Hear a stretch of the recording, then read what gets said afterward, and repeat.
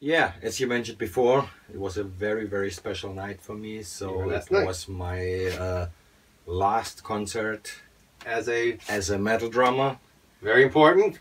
I quit playing drums for a metal band simply. I still love it. I still love the music. I still listen to the music, but it was just too tiring with uh, my job, being a band manager as well, a tour manager and everything. And uh, Twenty four seven music worker. yeah, and it was just too much everything, and that's why you guys know from Unisonic. Actually, my plan was to quit one year before. Then you talked me into We playing the last couple of talked him into it. It's a nice way to and, do uh, it. which was pretty good. It wasn't Please that, play.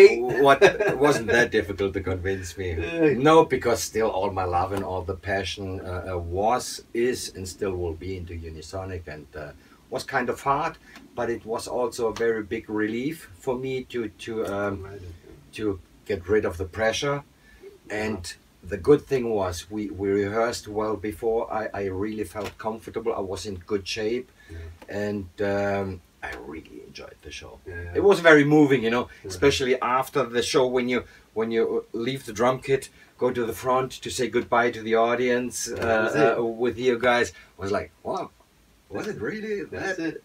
Am I done? You know. But a good but way to close ever since ever since i feel uh, uh, very good about it so it definitely was the the right movement and it was i mean there is no better situation or point to end your career as a metal drummer than playing that great show at Wacken yeah. and even making a live record from it with Yeah.